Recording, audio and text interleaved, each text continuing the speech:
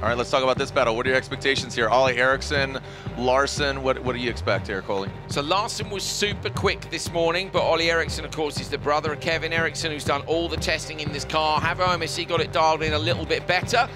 Or will Larsson and the RX Cartel be able to take this one? The nitro lights come on. It's going to go green. We'll see who gets the best start. Eriksson with a great reaction even. time, but Larsson, Larsson. drills him off the start, just gets away. This is the thing with these cars. They've got so much power. Eriksson goes high. Going to light it up, try and go around the outside line. Larsson sees that and runs the car a little bit deep. Eriksson's not going to get there. Larsson gets the whole shot. That was a great battle. I think that's a good prelude to what we can expect tomorrow with getting eight vehicles out there. That's going to be exciting. Exactly, Jared. Woo. And then when you see somebody run wide, you'll lose three places. You know, you'll get you'll someone will get in your door, and it's very different. Battles are a very different tactical battle than they are when you have eight cars on track, five cars on track tomorrow in, in heat races and so on. On board with Eriksson now as he chases Larsson down the hill. We're in the drone chasing them down the hill as well. Here's their on board again. So that oh, Ollie goes for the Joker. yeah, interestingly, that's what was, we were talking about earlier about how he had to lift there because Larsson's already on the brakes for the standard line. Eriksson's had to lift a little bit, and, and that may have compromised his Joker speed.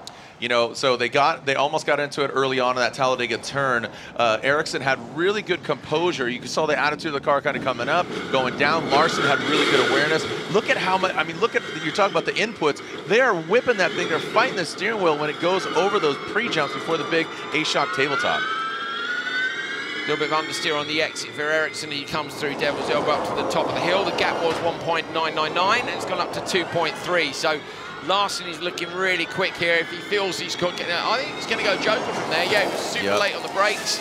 So he's gone Joker on lap two, and that just put, gives him track position, Jared. Then if you have a problem, you can potentially still hold the other guy off. So if you feel you can do it straight away, and he obviously feels that he had the pace. Yeah, really good pace there by Larsson. This is a this is a big this is a big boost for him. You said he's doing really good earlier. I mean, you you kind of you know prefaced it. Larsson's an amazing driver. He's a double European champion in the supercar category. Last year, he, he was in the Audi, and it just unfortunately wasn't quite dialed for the big jumps over in the USA. Uh, and now he's in the same equipment as everybody else. You know, are we seeing the, the ultimate Robin Larsson here? He's been very focused the last couple of years on yeah, things like fitness and stuff. Last year, I know he was a bit frustrated at times. Also found the jumps quite daunting, but he's doing a hell of a job here. funny, funny guy. I remember being uh, in Utah and kind of partying with him after the event. Just his his composure and his demeanor is really funny. As Larsson gets the win, regardless of being funny, no funny business here. Glad that they kept, away from each other on that Talladega turn. Made for some really good racing. Unfortunately, Ollie Eriksson just uh, kind of beat in his own game. You know, Ol- Olsberg's the big name on the side. That's his pops, and uh, here we are. So that sets us up for Larsson versus Bakkerud when we get to the semi-final. Oh, so it's an good. RX cartel basically uh, head-to-head to see who gets the spot in the final. That will be interesting.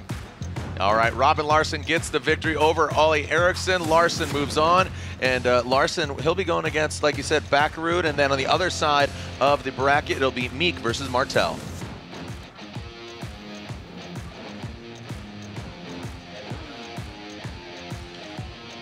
Progressing on, and let's take a look. This is the replay, and it all began in that Talladega turn. Look at this just launch from these two absolute weapons. So watch this.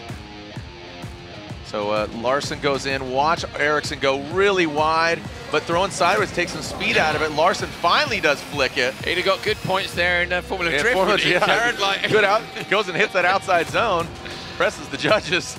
Yeah, very, very good indeed. Larsson, though, to be fair, to, he took another couple of four tenths off him on, on the very next lap. So Larsson is, is being super accurate. That gives you a good idea of the travel there. When the car's in the air at full drop, full like foot of travel, 30 centimeters, and so e- expect the tracks to get even wilder as, as we go on. They're going to get gnarly. Gnarly, bro. Uh, Yeah. gnarly? Gnarly, yeah. There we go, You, could, you could say gnarly if you want to. Gnarly. It's, it's, it's, it's not a silent G. No, no, You I can say gnarly. Really? Is that No, like no, extra gnarly? Let's, make, let, us just make that extra It's gnarly. gnarly. Gnarly. I would say it's gnarlier. Gnarlier.